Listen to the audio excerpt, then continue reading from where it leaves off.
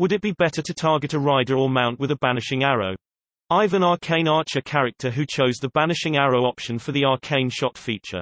In our campaign we often come across hobgoblins riding wargs. If I wanted to really put a thorn in the side of the enemy, when the mount and rider are charging into combat, would it be better to target the rider or the mount with a banishing arrow? Is one strategy optimal over the other? The warg Although the hobgoblin and the warg are both a county route 1, 2, their CR calculations are vastly different and the hobgoblin is way more dangerous when they have their warg by virtue of their martial advantage feature which lets them deal an extra 2d6 damage when an ally of theirs is within 5 feet of their target. And that's what the warg is. Furthermore, the warg changes the hobgoblin's speed to 50, has more than twice as many hit points, has a lower armor class and is thus an easier target, and has base attack damage that's much higher than the hobgoblins barring martial advantage. Using the monster statistics by challenge rating table from page 274 in the DMG reveals the following, warg CR evaluation When reviewing the warg's CR calculation you'll find that at 26 hit points and an AC 13, the defensive CR is a pulse paltry 1 8 however, with a plus 5 to hit and an average damage per round of 10 plus a chance to knock you prone, you're knocking on offensive CR that's somewhere between 1 and 4, maybe a net of offensive county route 2.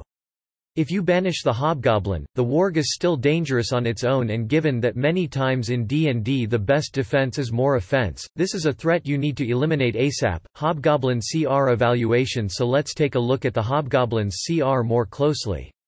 If you banish the warg, you take away the strategic advantage that hobgoblins have built into their CR calculation and thus make them much less dangerous. With 11 hit points, they'd sit at the defensive CR of 1 8 but their high AC of 18 isn't seen until County Route 13. Obviously we don't take the average on this but you get the idea they've minimal hit points under all that armor.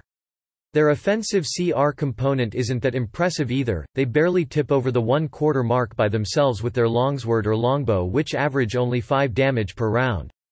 However, the offensive CR goes all the way to 1 when they get to regularly add in their martial advantage feature. If you just eliminate the hobgoblin, you still have to deal with 26 hit points barreling at you at 50 100 per turn. And once it gets there, it's going to deal a lot of damage plus be knocking allies prone. If you eliminate the warg, though, you just have a hobgoblin running at you firing their longbow. Given that most parties have ranged options to return fire with, this is definitely better. Scratch that, it'd have to burn an action to drop its shield getting into and out of armor, PHB 146 to fire the longbow, which just makes your situation all the better.